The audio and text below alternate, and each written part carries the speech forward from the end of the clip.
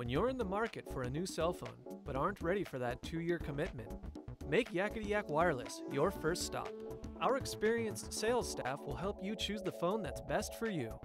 We carry a vast array of basic and smartphones, and at Yakety Yak, you can try it before you buy it. Looking to save some money? We sell used and unlocked phones and provide the best in iPhone repair. Come into Yakety Yak Wireless for all your mobile phone needs.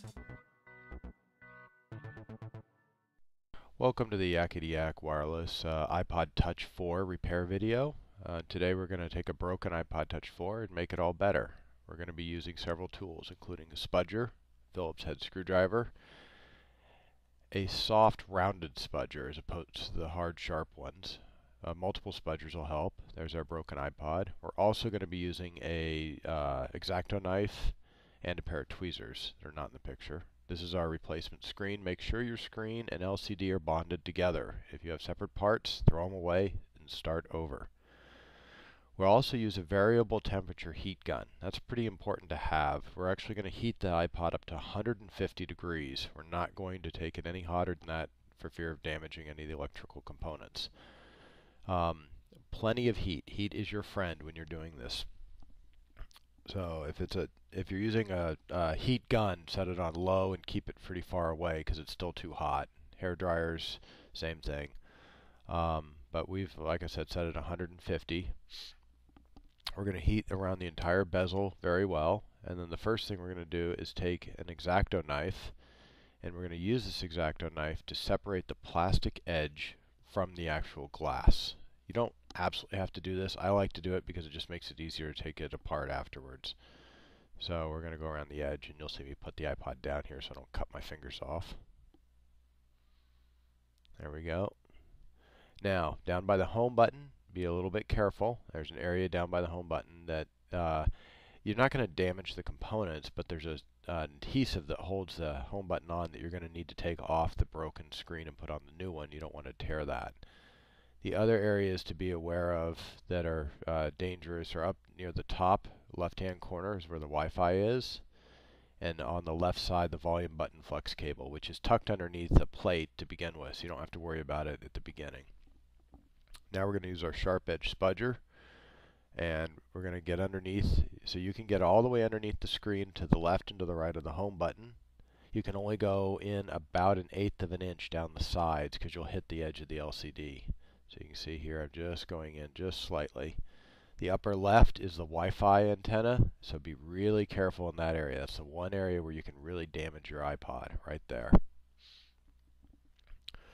we're going to tuck underneath here. Again, we're going to be really careful on the bottom of the home button, and then we're going to be able to punch it back in on the other side go all the way up to the edge of the LCD.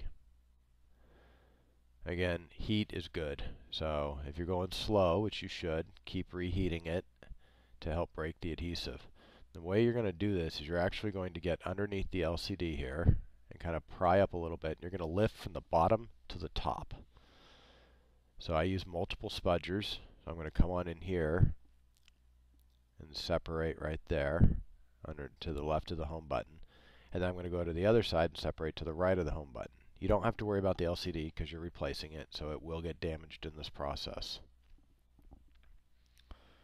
Just be careful right around the home button itself. Um, not from lifting it, just from uh, prying anything underneath it because you could damage the home button itself, the plastic piece. So we're going to go ahead and lift this up. You can see some of the adhesive attached, so don't worry about that, just yank it off. And then lift up. Now in the upper left hand corner is one thing you have to worry about. That is where your Wi-Fi antenna is adhered to the screen. So if it comes up in one piece, mine's broken up here in the top left, so I'm probably okay. But if it comes up in one piece, you want to use your spudger to get under there and pry it off between the glass and the Wi-Fi antenna. After you've done that, you can then lift the screen all the way up, take an X-Acto blade, cut the flex cable because you don't need it anymore, and remove the screen. Hold on to it because you still have to get the home button off of it. In my case here, I'm going to take the rest of the top piece off, and this is where you're going to see me get in here and separate that Wi-Fi antenna from the broken glass. You don't want to rip that, because if you do, the iPod will not connect to either Bluetooth or up to any Wi-Fi hotspots. Okay, now you can see here, this is the, uh, right there, that's the Wi-Fi antenna. It actually wraps all the way around the top side and connects over on the left side there with that screw. Just getting excess glass. A key thing to remember when you're repairing the iPod Touch 4 is get rid of every bit of old glass. If anything's in there, when you push the new screen down, it's going to crack it or break the LCD. Also, you need to remove all the old adhesive because we're going to be putting down new adhesive. Hopefully you got some when you got your iPod uh, replacement piece.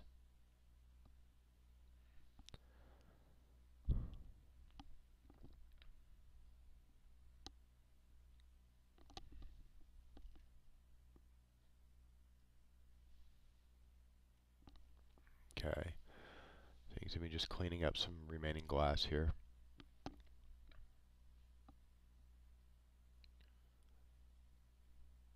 Okay. Now, I've got the iPod fairly well clean. There's eight screws holding on this mid plate right here. And you got to take all eight of these screws out. And they are different sizes, so make sure and align them properly so you can remember which way to put them back in.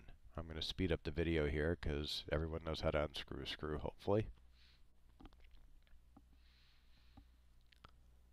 After this is done, after all eight are out, this mid plate is adhered down, and there's two very important areas. The first is the volume button flex cable, right in that area. If you just lift this thing up, you're going to tear that, and it's soldered.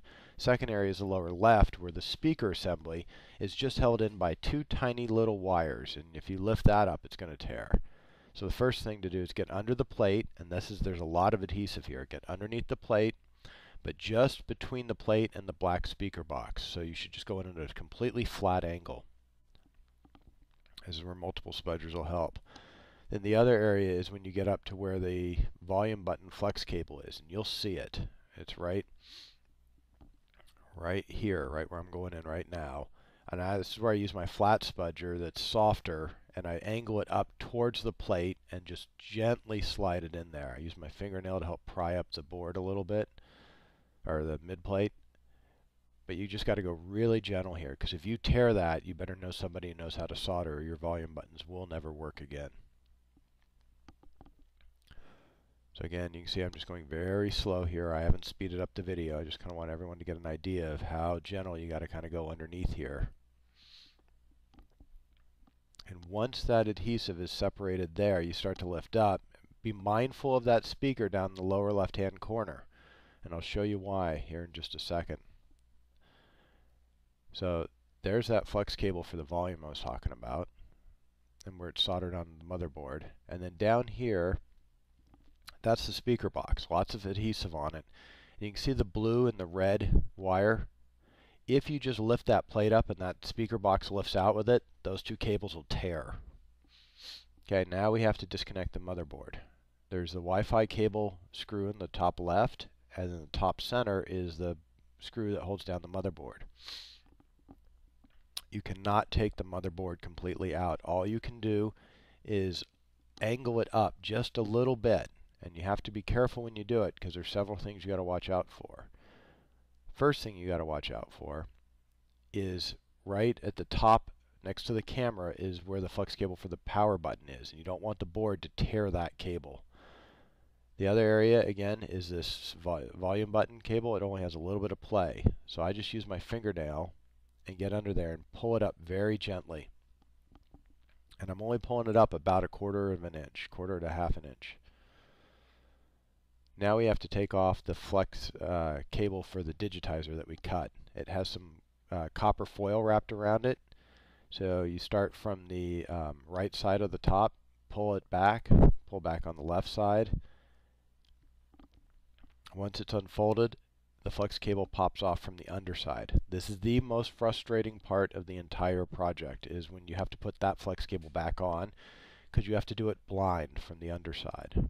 So peel off the copper tape, put it on your new screen's base. Here, new screen. We're going to go ahead and put that copper tape back on. And then you set the flex cable underneath the motherboard, right there. And now you use a spudger to help you align it and get it clicked on. You just need to get it just barely clicked on to where it's not where it doesn't slide around anymore. And when you do that, you can then fold the uh, copper back and then push it down and it will lock it into place. I speeded this up by a factor of four, so you can see just how long it takes me to do this, and I've repaired quite a few of these. Um, when you first do this, it's going to take you 45 minutes, and you're going to get frustrated. Just go slow. Don't pull up on that board too much, or you're going to disconnect all the flex cables underneath and tear the volume. If you just go slow, eventually it'll set. And when it sets, you won't be able to pull on the flex cable. It'll get tight if you start to pull on it a little bit. I use a spudger from underneath and my finger from on top and just kind of angle it and push it down. Once it's down enough so it doesn't move, fold the copper um, foil back into place over the top of, the, of where it mounts. And then you're going to push the motherboard down. And when you push it down, it's actually going to lock that flex cable into place. See me pushing it down right here. Okay, that's now locked down. The next thing that you're going to want to do once this thing is locked down is you're going to want to test it. A lot of people go and uh, put it all back together now and find out they have a dead spot in their screen. So I actually plug the screen in here and I'm going to boot it up and I'm going to run my finger over all areas of that digitizer to make sure I don't have any dead spots because it's no, nothing's more frustrating than putting the thing together only to find out that you got to take it all the way back apart again.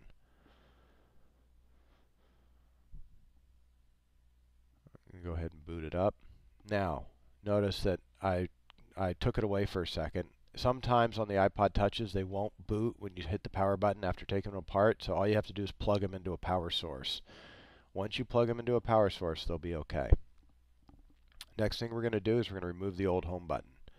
Best way to do this is to get your sharp spudger and get underneath the sticker, uh, the adhesive that's holding it down by pushing with your finger from the back side.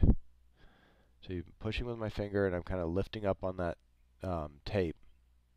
Okay, the iPod just came up, so we're going to go ahead and test it. You can see I run my finger over all the areas of the screen. Make sure that everything works on it. Once everything works, I turn it back off. Make sure you remember to turn it back off.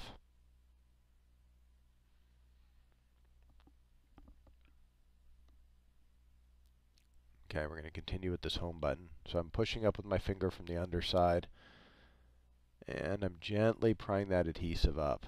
There we go. Now it's off. If your iPod's broken down around the home button, you may have to peel off some extra pieces of glass. Make sure you get all of them so you don't break your new screen. And then you put it on in the reverse manner. You put it on from the underside. I fold back the protective tape so that way I can use my finger to help center it properly so it's not in there crooked. You can see it adheres back from the backside there. now disconnect the LCD because we're going to reconnect that later since we've already tested it. Put in the two top screws, the center screw that holds down the motherboard and the Wi-Fi cable screw.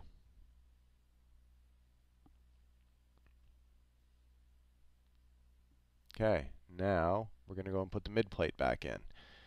It's got two tabs on the right side of it, so it kind of snicks in from the right side to the left. See the two tabs right there? get it aligned over the screw holes and then we're going to reinstall the eight screws in the proper positions.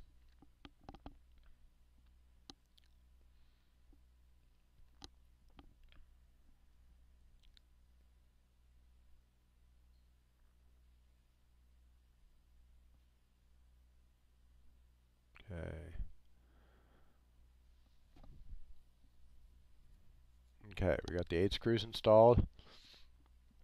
Now, adhesive. We have to lay down adhesive. You can buy an adhesive kit.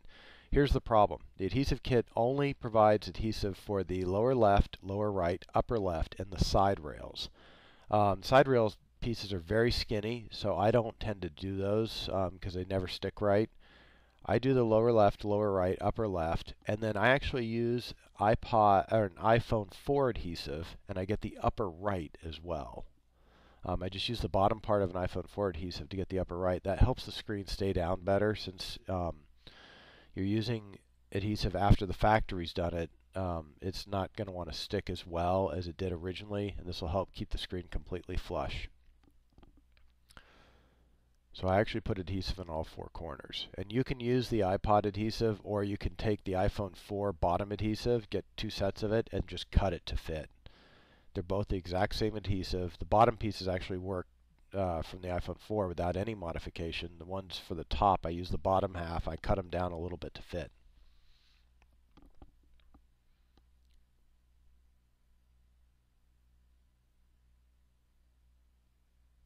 Okay. Go put the bottom adhesive on now. The other side here.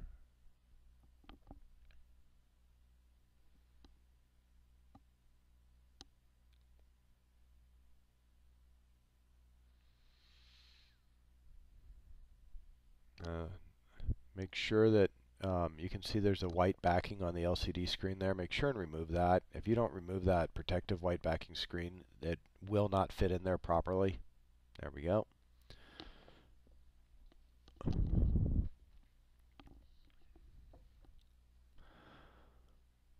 Okay, next we have to connect the LCD cable. And the LCD, we disconnected it after we tested it, now we just have to reconnect it.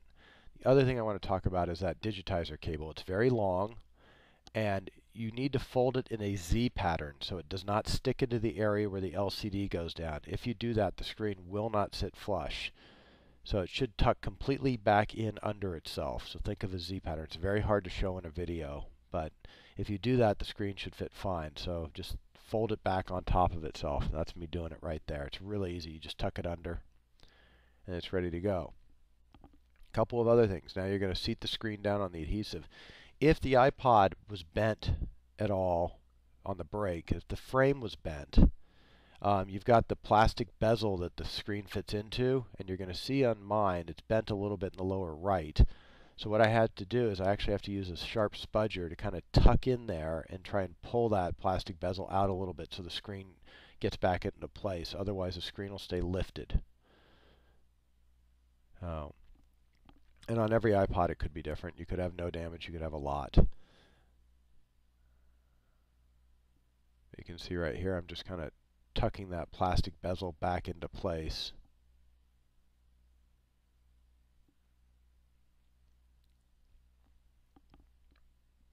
And after you get it all back together, test it. Test everything.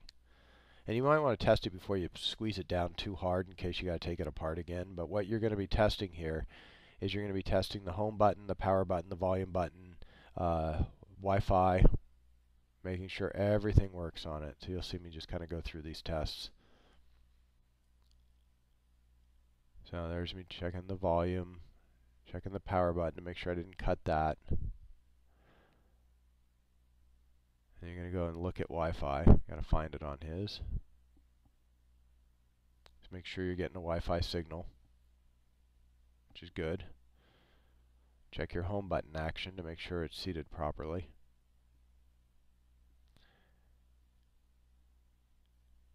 And that's how you repair an iPod 4. If you have any questions, you can call Yakety Yak Wireless at 817 399 1000.